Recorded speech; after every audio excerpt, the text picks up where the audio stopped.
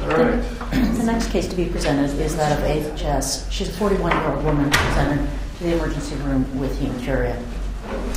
Uh, this woman recently underwent coiling of uh, congenital arteriovenous malformation. Uh, she, her post-op uh, course was complicated by urinary retention, and she was discharged on post-op day four with Foley catheter in place. Uh, shortly after she went home, she started experiencing gross hematuria and presented back to the emergency room with 10 hours of gross hematuria, and her catheter had been clogged for six hours. She had a great deal of pelvic pain, uh, spasm that wasn't very well controlled by oxybutynin and uh, B&O suppository. Her lower abdomen was quite full, and she had, as I said, gross hematuria.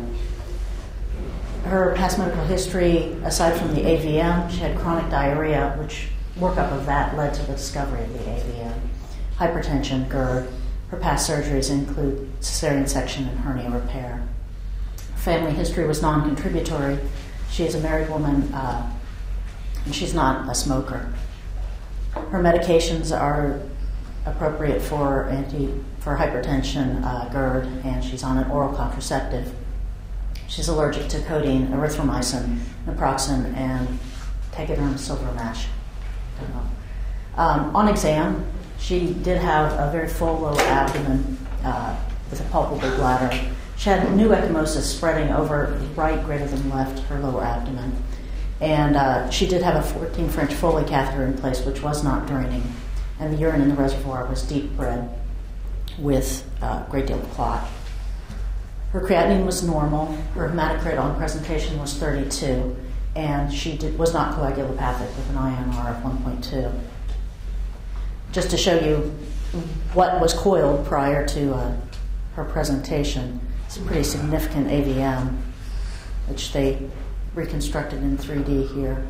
And they had to do a, a great deal of coiling to get this thing to stop. They basically filled the entire. The typical case, right? Yeah, they basically had to fill that large saccular part. So this is off of the right iliac, left iliac? All right. So where's this aneurysm off? It's, it's off the right. Internal or the external iliac? I don't know. There, you got a lot of coils in there. Exactly. So at this point, uh, we exchanged her catheter for a large bore catheter, manually irrigated out a lot of clot, continued to irrigate out a lot of clot with a lot of grossly blooded urine. And a recheck of her CBC showed that her uh, hematocrit had dropped from 32 on presentation to 28 to 26 to 25. And so this 41 year old woman with gross hematuria and rapidly decreasing hematocrit after coiling. Right, It's a pretty me one of obvious these cases yesterday. uh, She's uh, so far stable hemodynamically, uh, so she's bleeding. Um, Where is she bleeding from? It's probably related to the aneurysm. Uh, Has she eroded something with all these uh, coils? Um, uh, Unlike our stent guy, who pretty obvious stent erosion into, with radiated tissue. Here we're dealing with someone who's basically healthy, and you've dropped a ton of coils, and that's why I was trying to asking if it's down the internal uh, or hypogastric artery, um, could uh, any of those coils uh, either eroded or otherwise affected the bleeding? Uh, It's coming somewhere from the uh, the ureter, could they have injured the uh, ureter and putting all those coils in there? Probably not. But I'm still talking to my IR guys saying, folks, you put this in here and there's blood, uh, can you help me sort out? So um, you- if you just look at the bladder or take it to the OR and wash out clot, I'm afraid you're still going to get it red out, um, until you see it's red.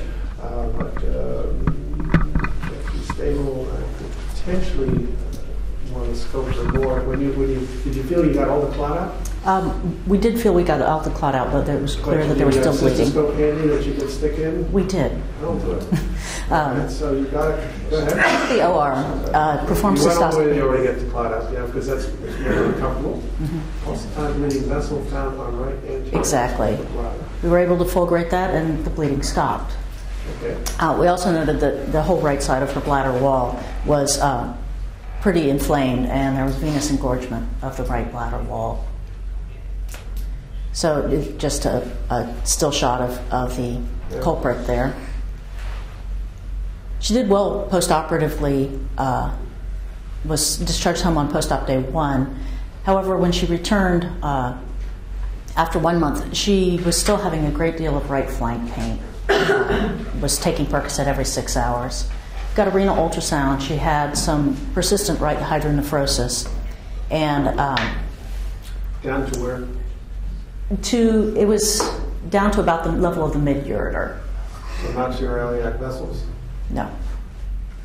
Um, and we placed a right double J stent, hoping to decompress the the system and treat the pain. Exactly. Any trouble getting that up? Not really. Okay. Uh, at the at that time, we also wanted to make look functionally, given the persistent right hydro, whether whether there was any functional impingement. There was a really minor delay of uh, This Excretion on the right. the up? Sorry? This was before? Before, yes. Yeah. So you were looking for a dilated ureter all the way down to the bladder, it looks like? Or am I overreading this? I think you're overreading it, Okay. uh, and based on imaging we got later. All right, and there was no evidence of a UPJ obstruction? No. So um, she presented a month after that. Her right flank pain was gone, but She had a she stent had a stent in and she did not tolerate it well at all. She had pretty bad ir- irritative voiding system or symptoms. Sorry. Okay. Uh, and we had discussed with her um, the possibility that her ur- the hydronephrosis might come from her ureter being impinged by that large, extensive coiling. Yeah. Um, and she really, the right flank pain uh, was not tolerable to her. That's why we did the stent. And she did not tolerate the stent well. So the options are you know, decompress her from above. Nobody likes that. Or, you know, not it- tolerating was pain or irritative voiding symptoms? irritative voiding symptoms. Okay. Um, right, so we, we got a CT scan basically for uh, planning. We did uh, think about basically moving the ureter away from a, a decompression.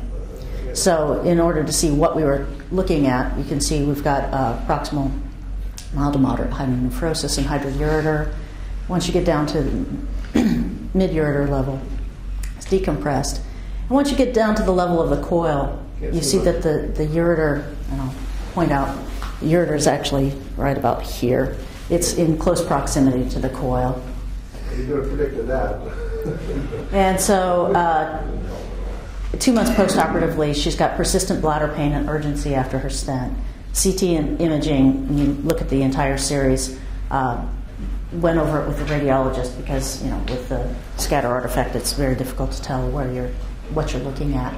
Um, impingement of the coil at the, at the distal right ureter, as well as persistent hydronephrosis. Something's not adding up.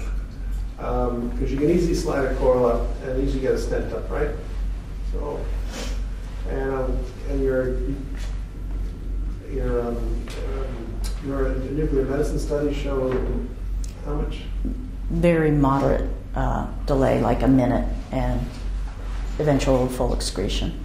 60 40 split of function. And if you took the stent out, she just has chronic flank pain? I don't know that we did a, a trial of that. She was not willing. Because what you're arguing is uh, that she's obstructed. Usually obstructive pain or with acute obstruction, you will get colic. With chronic obstruction, the colic eventually goes away.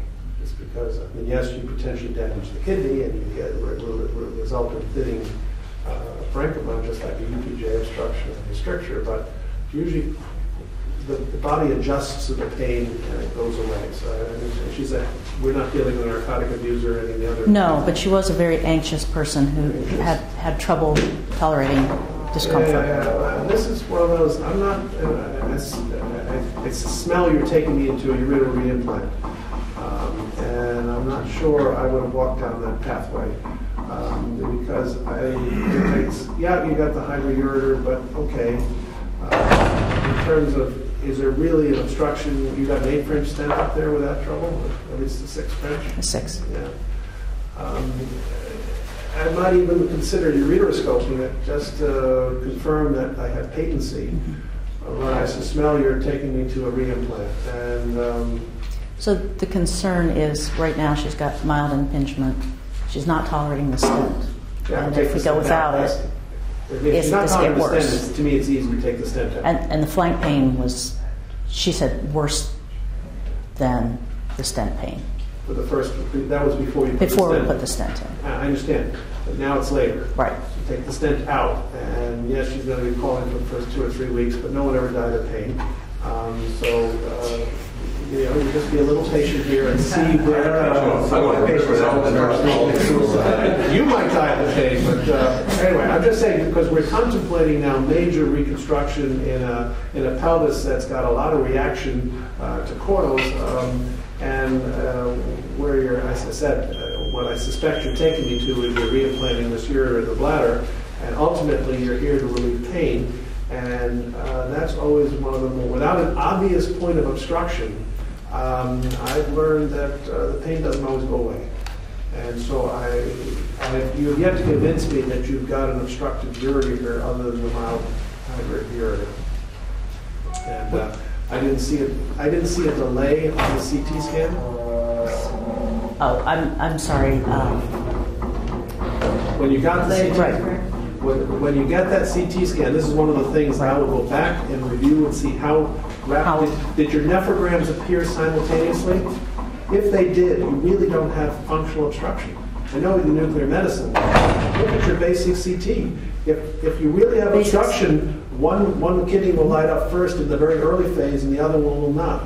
If they both light up simultaneously, I don't think you have significant functional obstruction because your dye is being processed by the kidney evenly. In a, in a truly obstructed kidney, you're going to see a delay. Those those of us who grew up in the IVP era know that because we used to look for the delayed uh, function on kidney, but you see it on a CAT scan too. So the residents who haven't thought of that, one of the things I look for in functional obstruction is in the early phase of the CT, was there, did they both like light up at the same time? You, you, you can't. um, We had late phase on, on the Yeah, CT. I would have probably taken the stent out, seen what the pain would have done, and maybe ordered one more CT, telling the radiologist, focus on the early phase and tell me if there's differential light up. If, if I truly had differential function, I'd be more comfortable doing what I- you're about to show me what you did. which we did. You did what I A robotic assisted laparoscopic ureteroneocystostomy. Um, To make sure that the tension was, um, or the anastomosis was not under any tension, we did perform a psoas hitch and a right You double. you didn't stick a needle through the the coils or anything, did you? Uh, Pretty, Straightforward. Uh, well, I wouldn't say straightforward. They, we spent a lot of time dissecting to get Yep. a clear field. okay. Um, Postoperatively, um, she did go home with a, a stent and a Foley for decompression. Uh, she came back on day seven, no leak on the cystogram, and Foley was removed. Yep. Her, she was very happy to have her ureteral stent removed after the procedure, and she's been doing very well. The pain is gone? All right, well, you made the right call. Uh, But uh, I guess the level of evidence to do a major reconstruction for like that, I, I need a little more convincing. And those are the things I would have done. I might have gotten to the same point you did, uh, but I would have demanded a little more to convince me that I'm truly dealing with an obstructed ureter at the level. When you did the dissection, did you, did the ureter stop at the coils or going over the iliac vessels, or did you get more length? Um, it, it didn't stop at the coils. I mean, but when I say stop, I mean, you didn't hit a concrete block where it No. wasn't trapped. So you could dissect the ureter out easily, so you had plenty of length. So doing, uh, doing the reimplant was not a problem at all. So you did the psoas hitch rather than just plugging in the bottom to, do what? E- Essentially making sure that we had slack. We had plenty of slack. Okay. What did- What's the pathology on the, on the, did you have some, say, would you have ischemic ureter? Did, uh, uh, Uh, that was not sent for pathology. I mean, you sent, you sent it was normal ureter that you're plugging in, Yeah. so you, but again, not having a difficult, you got trouble dissecting